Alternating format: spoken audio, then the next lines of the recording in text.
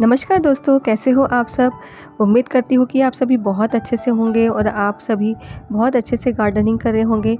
मैं लीना, स्वागत करती हूँ आपके अपने YouTube channel my simple home garden पर। फ्रेंड्स, आज की वीडियो में मैं आपसे शेयर करने वाली 20 ऐसे फूलों वाले पौधे जो कि भगवान जी को चढ़ाए जाते हैं और ये सारे ही पौधे ऐसे हैं कि जो इजीली कटिंग से और सीड से ग्रो हो जाएँगे और अभी मानसून सीज़न चल रहा है। तो इस सीज़न में अगर इनकी हम कटिंग्स लगाते हैं सीड्स लगाते हैं तो बड़ी आसानी से ये पौधे लग जाएँगे और ये सारे ही पौधे ऐसे हैं जिन्हें हम अपने गार्डन में ऐड करते तो हमारी गार्डन की सुंदरता को भी बढ़ाएँगे और हमारे घर को फूलों से भी भर देंगे। तो चलिए फ्रेंड्स स्टार्ट करते हैं। सबसे पहला है हिबिस्कस, जिसे जासवन गुड़हल भी बोलते हैं। इसके फूल सभी देवी देवताओं को चढ़ाए जाते हैं।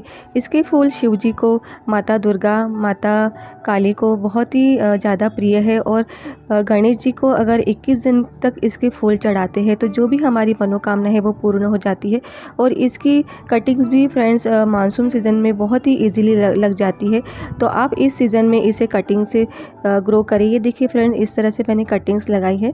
तो अगर आपके पास कटिंग कहीं से भी मिल जाती है तो इसे आप अपने गार्डन में ज़रूर ऐड करें नेक्स्ट है अपराजिता। ये बेलनुमा पौधा है। इसे सीड्स से और कटिंग से भी उगाया जाता है फ्रेंड्स ये मैंने सीड्स से ग्रो किया है और इसके फूल भी शिव जी को अति प्रिय है।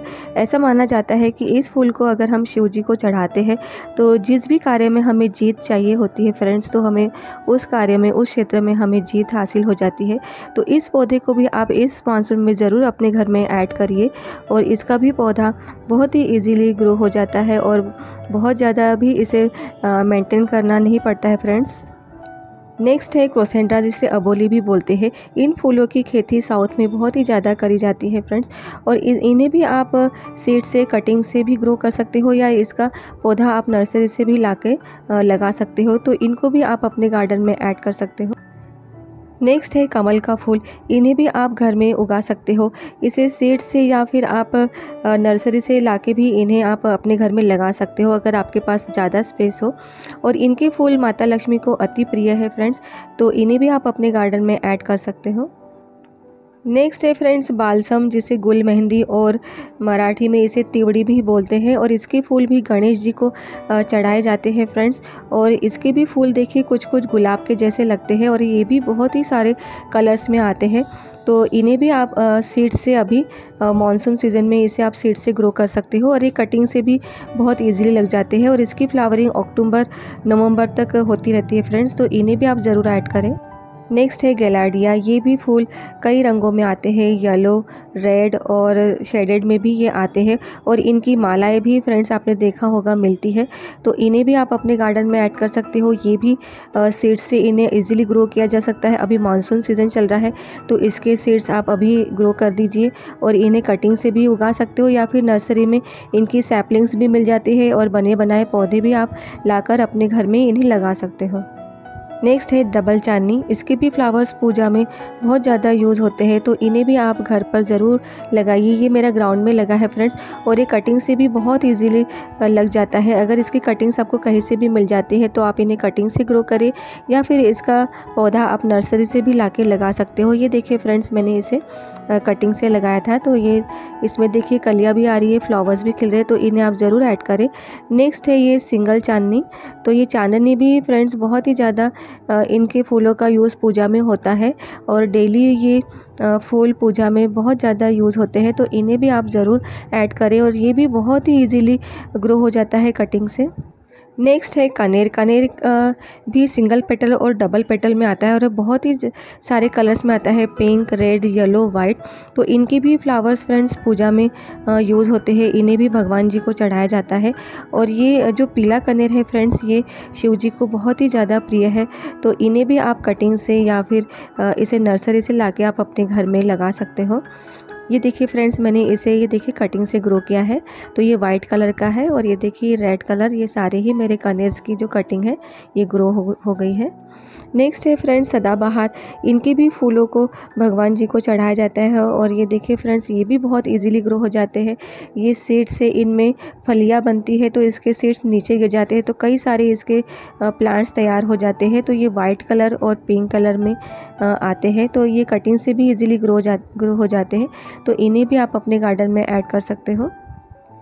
ये देखिए फ्रेंड्स, चंपा। चंपा के भी फ्लावर्स को शिव जी को चढ़ाया जाता है और इनके फूलों में बहुत ही बढ़िया खुशबू होती है। ये पीले, सफ़ेद और लाल कलर में इसके फ्लावर्स आते हैं। ये देखिए रेड कलर का ये कटिंग से मैंने लगाया है और ये येलो कलर का। ये देखिए कटिंग से भी बहुत इजीली ग्रो हो जाते हैं। तो आप भी इन इस मौसम में इनकी कटिंग से इसे ग्रो करिए। नेक्स्ट है फ्रेंड्स कुंद, जिसे कुंदा भी बोलते हैं। इसमें सफ़ेद कलर के फ्लावर्स आते हैं और ये भी इन फूलों को भी भगवान जी पर चढ़ाया जाता है। तो इन्हें भी आप इस मौसम में कटिंग से ग्रो कर सकते हो। ये देखिए फ्रेंड्स मैंने कितनी सारी इसकी कटिंग्स लगा ली है और सारी ही कटिंग्स देखिए फ्रेंड्स मेरी लग चुकी है। सब में ये देखिए न्यू न्यू शूट्स निकल रहे हैं। तो ये भी फ्रेंड्स आप इस मौसम में ज़रूर ऐड करिए। नेक्स्ट है फ्रेंड्स गुलदाउदी क्रिसेंटिमम जिसे शेवंती भी बोलते हैं। इनके भी फूलों को भगवान जी पर चढ़ाया जाता है। और इनकी मालाएँ भी बनती है। तो इन्हें भी आप, अगर आपके पास इसका पौधा हो तो आप इन्हें कटिंग से ग्रो कर सकते हो। अभी जून और जुलाई में इनकी कटिंग्स लगाई जाती है और ये भी पौधे, इनके, इसके बने बनाए भी पौधे मिलते हैं। आप उन्हें भी खरीद सकते हो नर्सरी से। ये देखिए फ्रेंड्स मैंने यहाँ से कट करके इनकी कटिंग्स मैंने लगा दी है। तो आप भी इस मॉनसून में इनकी कटिंग्स ज़रूर लगाइए या फिर नर्सरी से ख़रीद के भी आप इन्हें अपने गार्डन में ऐड कर सकते हो। नेक्स्ट है फ्रेंड्स रजनीगंधा। इनके फूलों में बहुत ही ज़्यादा खुशबू होती है और ये भी फूल भगवान जी को चढ़ाए जाते हैं। तो अगर इन्हें आप पूजा घर में चढ़ाते हो फ्रेंड्स तो पूरा कमरा खुशबू से भर जाता है और ये भी इन्हें भी बल्ब से इजीली उगाया जा सकता है। नहीं तो फिर आप इसके पौधे को भी घर में लाकर लगा सकते हो। ये देखिए फ्रेंड्स मैंने बल्ब से इन्हें ग्रो किया था। इनके जो बल्ब्स हैं फ्रेंड्स मल्टीप्लाई होते जाते हैं इन्हें आप निकाल कर इसके कई सारे आप पौधे तैयार कर सकते हो। ये देखिए फ्रेंड्स इनमें भी फ्लावरिंग स्टार्ट हो रही है। नेक्स्ट है ये आ, हर सिंगार जिसे पारिजात भी बोलते हैं इनके भी फूलों को भगवान जी पे चढ़ाया जाता है और इनके फूल रात में ही खिलते हैं फ्रेंड्स और इन फूलों में भी बहुत खुशबू होती है। तो इन्हें भी आप अपने गार्डन में इस मौसम में ऐड कर सकते हो या फिर इन्हें भी आप कटिंग से ग्रो कर सकते हो। तो ये भी प्लांट इनके भी फ्लावर्स बहुत ही सुंदर होते हैं। तो इन्हें भी आप अपने गार्डन में ज़रूर ऐड करें। नेक्स्ट है फ्रेंड्स ये चमेली का प्लांट इन्हें भी आप इस मॉनसून में ऐड कर सकते हो। अभी मॉनसून सीज़न में रेनी सीज़न में इसकी बहुत ही ज़्यादा इसमें फ्लावरिंग होती है तो इनके भी फूल भगवान जी को चढ़ाए जाते हैं। तो इन्हें भी आप इस मौसम में कटिंग से भी ग्रो कर सकते हो, या फिर इसके पौधे को आप नर्सरी से ला भी आप इन्हें लगा सकते हो। नेक्स्ट है गुलाब। गुलाब के फूल सभी देवी देवताओं पर चढ़ाए जाते हैं और ये भी फ्रेंड्स अभी रेनी सीज़न में बहुत ही इजीली इसकी कटिंग्स लग जाती है। तो इन्हें भी आप इस रेनी सीज़न में कटिंग से ग्रो करें या इनके पौधों को आप नर्सरी से ला लगा सकते हो। और ये जो देसी वेराइटी के जो गुलाब होते हैं लाल कलर के, उनमें बहुत ही बढ़िया खुशबू होती है। तो इन्हें भी आप इस मानसून में अपने गार्डन में ऐड कर सकते हो। नेक्स्ट है फ्रेंड्स मैरी गोल्ड जिसे गेंदा भी बोलते हैं या फिर झेंडू भी।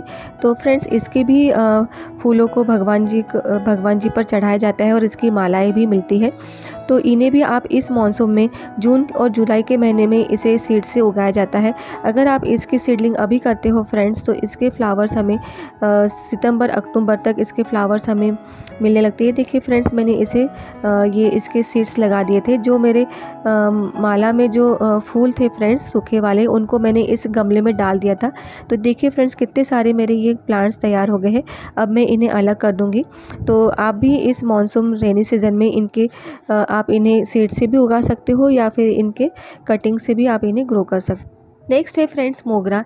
इनकी भी फूलों को भगवान जी पर चढ़ाया जाता है और ये, इनकी भी फूलों का यूज़ पूजा पाठ में बहुत ज़्यादा होता है। इन्हें भी आप कटिंग से ग्रो कर सकते हो। अभी मानसून सीज़न चल रहा है तो इनकी कटिंग आप अगर अभी आप लगा लेते हो तो ये पौधा हमारे नेक्स्ट सीज़न के लिए तैयार हो जाएगा और इनके फूलों में भी बहुत ज़्यादा खुशबू होती है। या फिर इनके बने बनाए पौधे भी हम नर्सरी से लाकर अपने घर में लगा सकते हैं। तो इन्हें भी आप इस मानसून में ज़रूर ऐड करिए। नेक्स्ट है कैना लिली, जिसे वैजंती भी बोलते हैं। इसके फ्लावर्स विष्णु भगवान को बहुत ही ज़्यादा प्रिय है और इसमें ये येलोइश हल्के से रेड कलर के इसमें फ्लावर्स आते हैं और इसे बल्ब से उगाया जाता है। इसके बल्ब्स मेरे, मैंने ग्राउंड में लगाए थे तो इन, उनको निकाल के मैंने इसे पॉट में लगा दिया है और ये भी बहुत ही ईजी टू ग्रो प्लांट है। इन्हें भी आप इस मानसून में ऐड कर सकते हो। सो so फ्रेंड्स ये थे वो सारे फूलों वाले पौधे जिनके फूल भगवान जी पर चढ़ाए जाते हैं। तो इन्हें आप इस मॉनसून सीज़न में ज़रूर अपने गार्डन में ऐड करिए। और मेरा ये आज का वीडियो फ्रेंड्स आपको कैसा लगा तो मुझे कमेंट्स करके ज़रूर बताइए। और मेरे चैनल को लाइक शेयर सब्सक्राइब करना ना भूलें। मिलते हैं फ्रेंड्स नेक्स्ट वीडियो में। और मेरा ये वीडियो देखने के लिए आपका बहुत बहुत बहुत धन्यवाद। Bye friends take care